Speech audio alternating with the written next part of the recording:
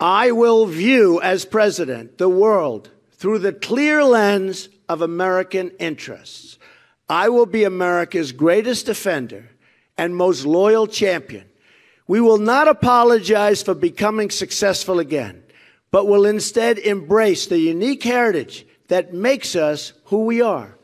Our allies are not paying their fair share, and I've been talking about this recently a lot. Our allies must contribute toward their financial, political, and human costs, have to do it, of our tremendous security burden. But many of them are simply not doing so. They look at the United States as weak and forgiving and feel no obligation to honor their agreements with us. We have spent trillions of dollars over time on planes, missiles, ships, equipment, building up our military to provide a strong defense for Europe and Asia.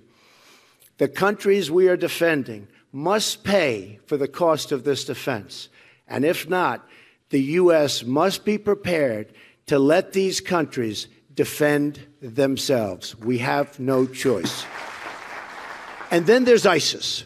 I have a simple message for them. Their days are numbered.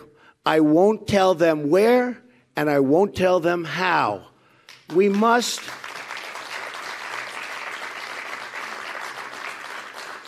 We must, as a nation, be more unpredictable. We are totally predictable. We tell everything. We're sending troops, we tell them. We're sending something else, we have a news conference. We have to be unpredictable.